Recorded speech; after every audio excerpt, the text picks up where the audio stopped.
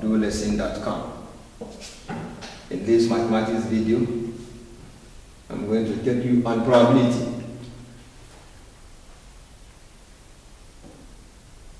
I hope it helps.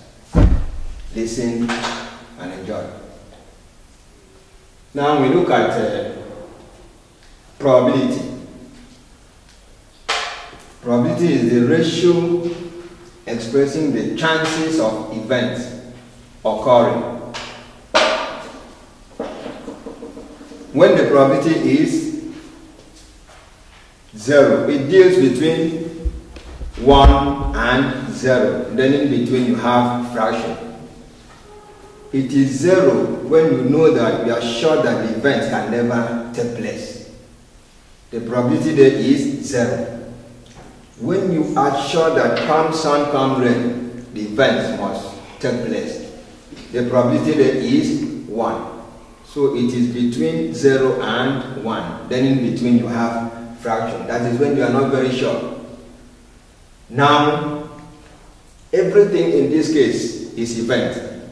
Somebody walking into this room is an event. If I throw this Bible, it's an event. So everything in this case is an event. So that is probability. And we have that. It has a formula. And we denote probability with letter P. And we have that probability P is given by number of required outcomes all over number of possible outcomes. Required out outcome in this in the sense that if you have a group of people, they can mix up boys and girls, a certain number of boys, a certain number of girls. Now, if you have a group of 20 people, 10 boys, 10 girls. And then if you pick a girl from that group, that one girl represents the 10. So that one girl you are picking is sample space. We also call it sample space all over possible outcome. Then what is possible is the total number of people in that place or in a class. So if you pick a girl, you are not picking one, you are picking 10 because that one girl represents the 10 girls. If you are picking a boy, you are not just picking one boy. You have that one boy represents the entire 10 boys in that group. So that is why we have that. Probability is given by number of required outcome. If you are requiring to pick a girl, so one out of 20 represent 10 girls out of what is possible there is 20. So if we take an example here,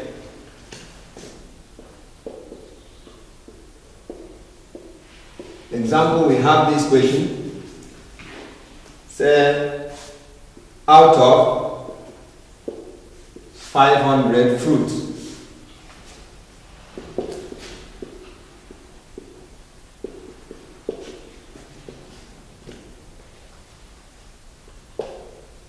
probability says out of 500 fruits bought in a market, it is known from experience that 25 will be bad. Now, if a fruit is picked at random from the lot, what is the probability that that fruit, that one fruit that is picked at random is going to be a good fruit? Now, you have to understand the, the random picking we are talking about. When you pick something at random, you are not selecting. You can even close your eyes and pick. Now, 500 fruits mix up with bad fruit and good fruit. And then you pick one, can close your eyes, that is random selection. What is the probability that that one fruit you are picking is going to be a good fruit? Now, when we have a case like this, you, you start by saying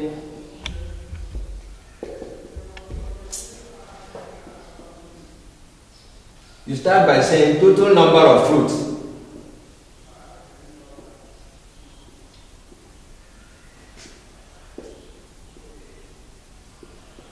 equal to 500. That is what is bought in the market. Now, out of this 500, 25 are bad. So you now look at number of bad fruit.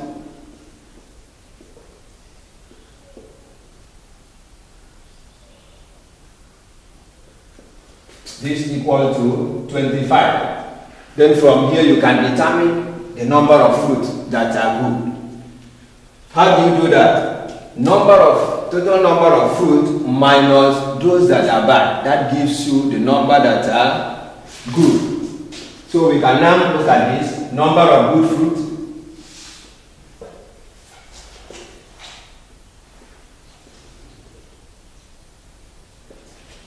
this will be equal to 500 which is the total minus 25 which are bad and that will give us 475 good fruit.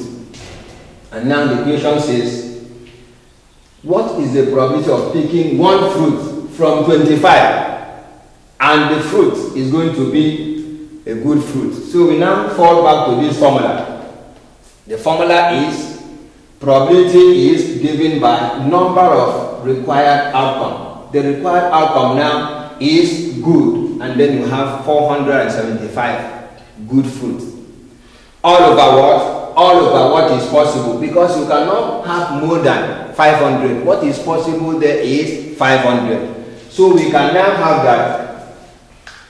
We can now have that. that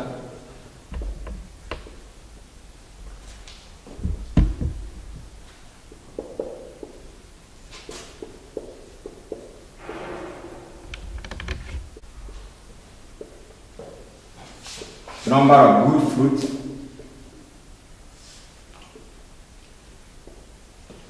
All over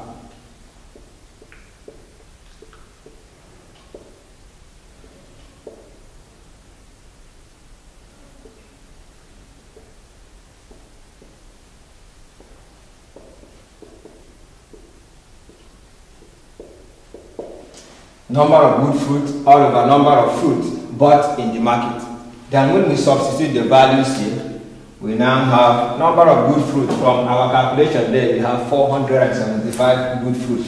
So that will now give us 475 all over what is possible, all the fruit bought in the market, 500.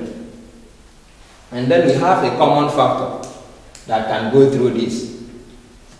If we use 5, 5 will give us 9 in 47 remainder 2 and that add that to 5, it becomes 25. And 5 into 25, we have 5. 5 into 500, we have 100. There's also a common factor that can go through, which is what? 5. 5 into 95, that is 19. Then 5 into 100, we have 20. So probability of picking a good fruit from 500 fruits bought in the market and 25 are bad is going to give us 19 all over 20. Remember at the beginning we said that this is the ratio. Ratio means fraction. So at the end of the day it boils down to fraction. This is a fraction because not all the fruits are good. If all the fruits are good, then for you to pick a good fruit is going to be what? 1. Because that will give us 500 good fruit all over what is possible. If you are talking about uh, all the fruit are bad in this case, and then for you to pick a bad fruit is still going to be what? One. Then for the fact that we have some good fruit and some bad fruit, and that is where the fraction comes in. Because anyone who pick there represents a section, either good or bad. Now, we also have uh, an aspect of uh, probability called mutually exclusive event. Exclusive event. Two events are said to be mutually exclusive when the occurrence of one prevents the other one from taking place. It means the two of them cannot happen at the same time. For example, if you look at the student, the student is in class 1. I don't think that same student will be in class 2. So that student being in class 1, or we call it JS1 now, prevent that student from being in any other class in the school. That is one. We are all familiar with the die that we used to play the game of Ludo. the die there has number 1 to 6. That means it has 6 faces. If you throw 1 up and it lands, if 6 faces up, there is no other number that will face up. That means the appearance of 6 prevents the appearance of any other number. So the appearance of 6 and the appearance of any other number, they are mutually exclusive. The two of them cannot happen at the same time. Then we have another name for mutually exclusive event. We call it addition of what? Probability. And that is when we introduce this word. It is either this or this. This word in probability means addition. This means plus. So another name for mutually exclusive event is addition of what? Probability. Now if we take example, remember we are saying that this is a case where two events cannot happen at the same time. The occurrence of one prevent the occurrence of the other one. And then we take the case of a die. That if you throw a die once and it scores six, it cannot score any other number. So the appearance of six prevents the appearance of any other number. Now we can take example here. Now example in this case, and that will take us to example number two. It says a die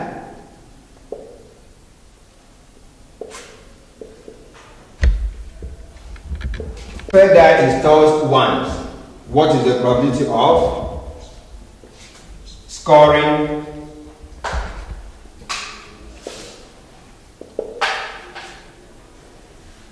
two or three?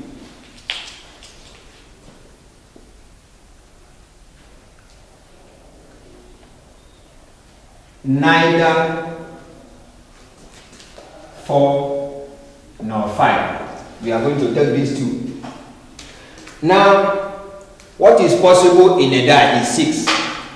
Because we have the number 1 to 6. So possible outcome there is 6. So whatever you are scoring is a fraction of what? 6.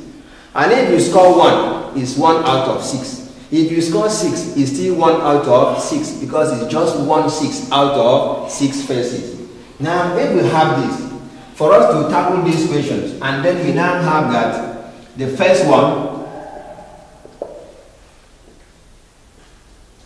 probability of scoring 2 or 3 is equal to probability of 2 or probability of 3. And remember, all here means what? Addition. And for you to score 2 is 1 over 6. For you to score 3 is 1 over 6. Whatever you score is 1 out of 6. So this will now give us probability of 2 plus probability of 3. Now for us to get this, this equal to 1 all over 6 plus 1 all over 6. And this is the addition of fraction with a common denominator. So what do we do? We just add the numerators. So this will now give us 2 all over 6, which equal to 1 all over 3. Now for you to score 1, 2 or 3 on a die, the probability is 1 all over 3. Then the second one says neither 4 nor 5, meaning that it is not 4, it is not 5. Therefore, it would be what? 1 or 2 or 3 or 6. So we now take the second one, B, probability of neither